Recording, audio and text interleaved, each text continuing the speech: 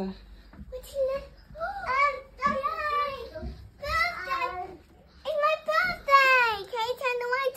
Um, I don't need to turn the light on. No! No, there's that. Hello? How can I open this one? How can I open this one first? Ah! ah.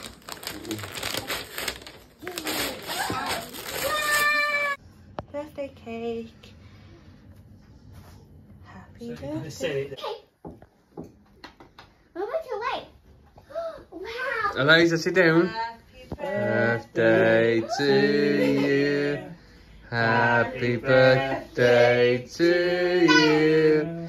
Happy birthday, dear Eliza.